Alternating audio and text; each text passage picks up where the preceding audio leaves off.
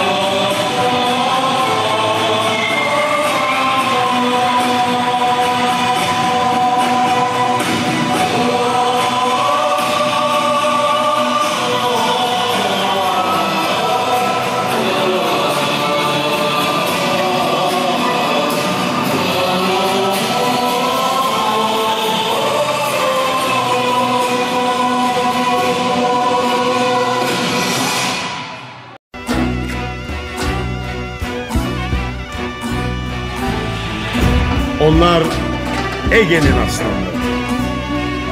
Onlar hırsız, onlar zorba, onlar vesaire değil.